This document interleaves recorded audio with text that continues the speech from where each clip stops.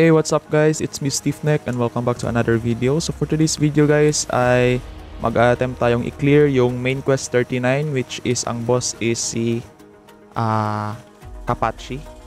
Kapachi ba? Bago ang lahat guys, you can support me by sending your seeds dito sa Wemex website. Click na lang yung link na nasa description below. Login lang gamit yung Nightcross account nyo. Then click tong support button and make sure na yung code na nandito ay yung makikita nyo sa screen. Okay? So you can send a minimum of 10 seeds as a support. Thank you so much and back to the topic. Apache ba yun? Ayan. So ang uh, boss dito sa main quest 39 guys is range type. So ito yung mga needed natin. Alright? So unang-una guys dito is meron tayong Drought of Vigilance. Tapos meron tayong Drought of Victory.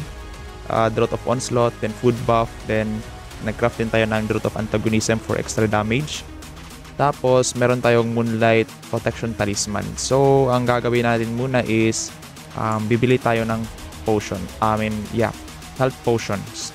So, ang dadalhin natin health potions dito guys is at least 4,000. Alright, so need natin ng 3K. 3K.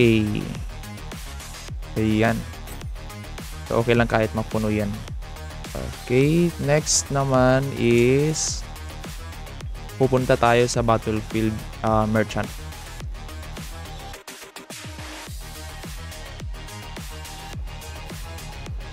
So, dalawang talisman yung bibilin natin dito. Tig lima. Okay. So, ayan. At, uh, goods na tayo. So, meron na tayong sampu. Alright, so dito guys, nag-craft tayo ng Root of Aim para uh, malesen yung da- range damage reduction ng boss. Right? So needed natin to guys since um, yung defense natin is nasa 213 lang. So yung gears natin dito is di pa tayo nakakapag-craft ng tatlong um, para sa armors or para sa defense. Then yung damage reduction natin is di pa din natin to na-upgrade to rare gears. So pati din sa bracelet. Ayan. So ang minimum requirements ng accuracy dito sa main quest 39 is at least 300 accuracy um, kasama doon kasama kasama na doon ang uh, PVE accuracy. So for example is my accuracy ito yung base accuracy natin 202. Tapos yung range accuracy is nakadepende yan kung anong type ng weapon mo since archer tayo so may range accuracy tayo na 256. So at least meron na tayong 258 na accuracy plus um, 33 accuracy sa PVE so nasa ano na 200, 290 something. Then need natin ang mga potions para sa extra buff. So umabot tayo ng or aabot tayo ng 300 accuracy dito. Para tatama tayo sa mobs. Okay so punta muna tayo sa location.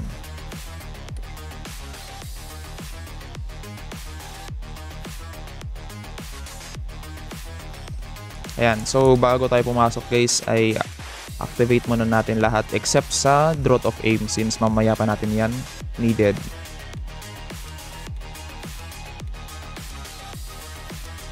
Right, so tara, pasok. Same pa rin guys, ta- uh, same tactics. Uh, need na nating mag-agro dito ng mobs. So, need natin isa-isahin kasi napakasakit ng mobs dito. So, reset na natin. Ayan. Hindi natin isa lang muna.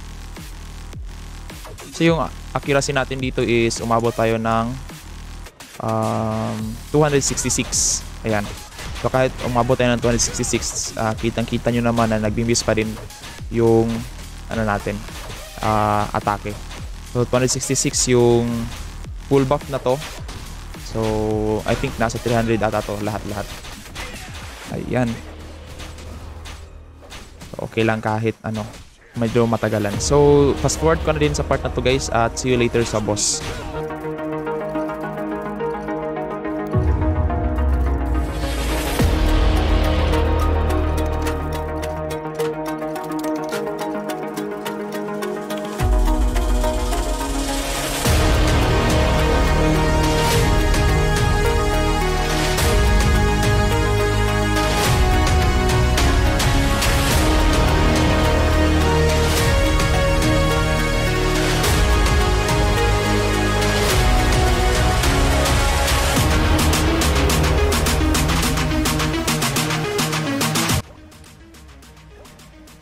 Okay, so tapos na tayo sa first wave guys. Proceed na tayo sa second wave.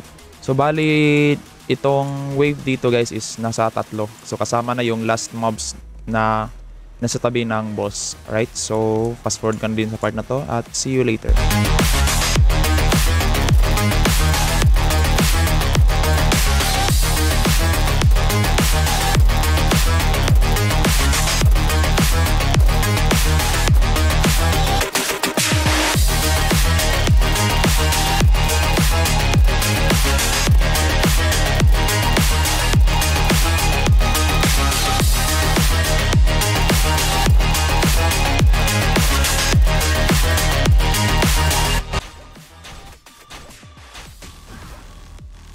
Okay, so we're down to the last wave guys at um, same pa din. Kahit muna natin yung mga mobs para yung matira dito is si Kapachi na.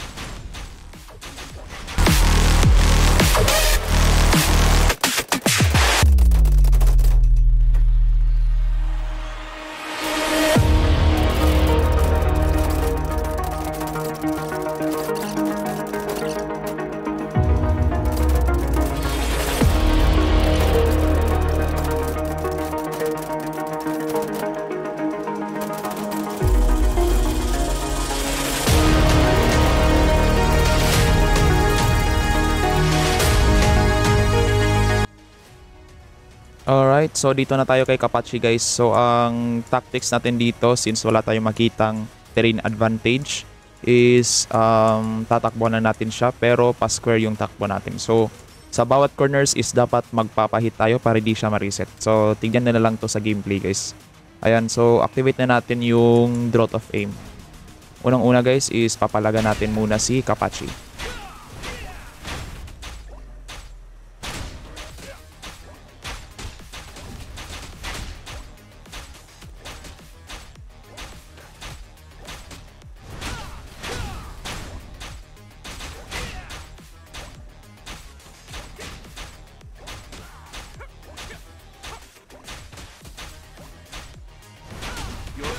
Alright, so it's time to run na guys since uh, yung buhay natin is kaunti lang. So dito lang tayo, ayan, so first hit at saka huwag kayong lumagpas dito sa crate na to since um, yan yung palatandaan ko. Then, dito, takbo tayo. So need lang natin magpa full life, so huwag kayong lalagpas dyan sa bato na din yan. Tapos, yan, so hit na dito. So, pa-square talaga yung takbo natin. Then, dito din. Balik. So, ganito lang yung gagawin yun guys. Paulit-ulit lang. At, uh, fast forward ko na sa part na to. So, see you later.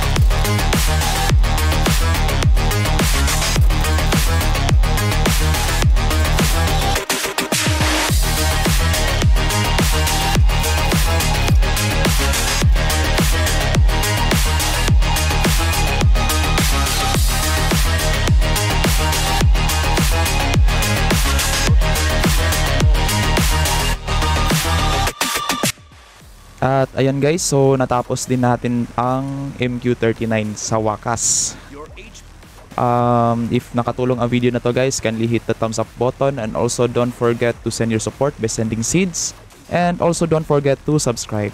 That's it. See you in the next video. Bye-bye.